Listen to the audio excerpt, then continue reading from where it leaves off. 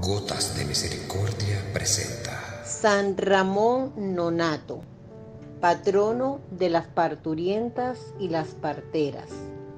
Nació de familia noble en Portel, cerca de Barcelona, España, en el año 1200. Recibió el sobrenombre de Nonatus, no nacido, porque su madre murió en el parto antes de que el niño viese la luz. Con el permiso de su padre, el santo ingresó en la orden de los mercedarios que acababa de fundarse. San Pedro Nolasco, el fundador, recibió la profesión de Ramón en Barcelona. Progresó tan rápidamente en virtud que, dos o tres años después de profesar, sucedió a San Pedro Nolasco en el cargo de redentor o rescatador de cautivos, enviado al norte de África con una suma considerable de dinero. Ramón rescató en Ángel a numerosos esclavos. Cuando se le acabó el dinero, se ofreció como rehén por la libertad de ciertos prisioneros cuya situación era desesperada y cuya fe se hallaba en grave peligro.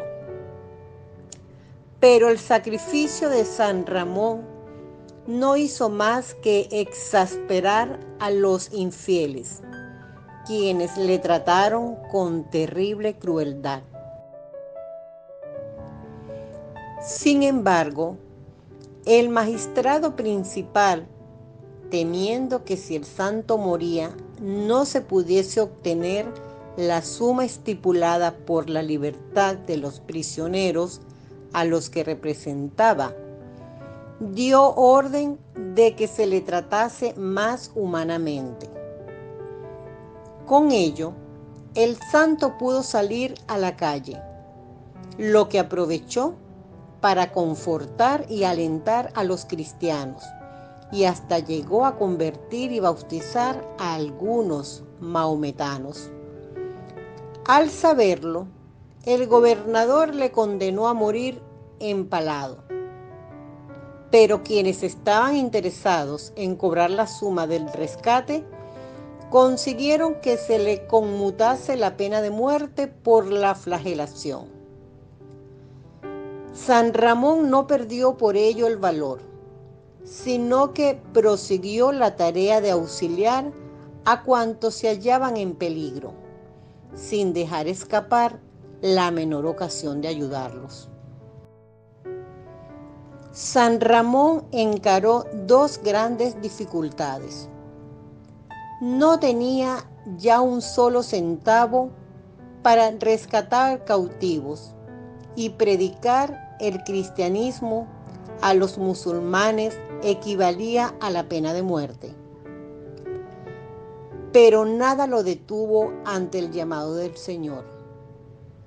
Consciente del martirio inminente, volvió a instruir y exhortar tanto a los cristianos como a los infieles.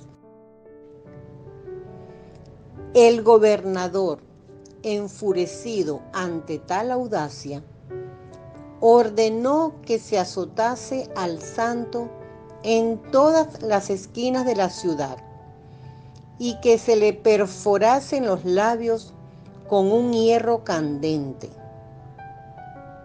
Mandó a ponerle en la boca un candado, cuya llave guardaba él mismo y solo la daba al carcelero a la hora de las comidas.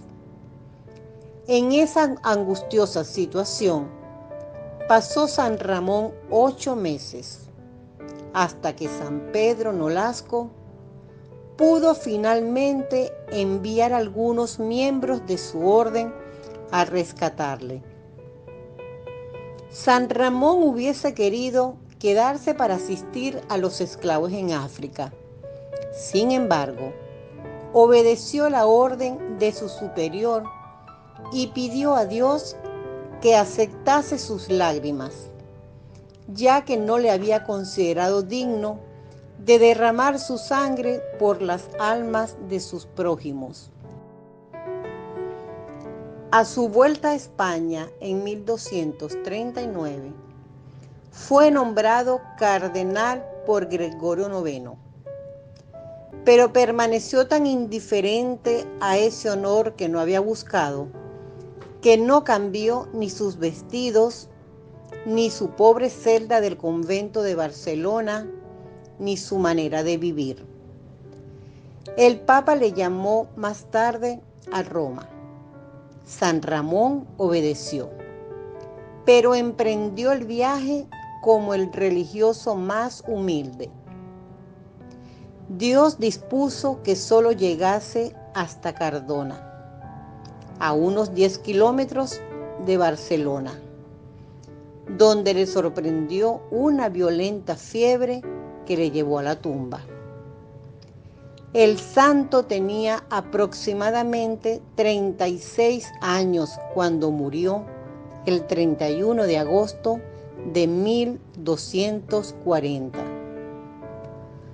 Cardona pronto se transformó en meta de peregrinaciones. Fue sepultado en la capilla de San Nicolás de Portel. El Papa Alejandro VII lo incluyó en el martirologio romano en 1657.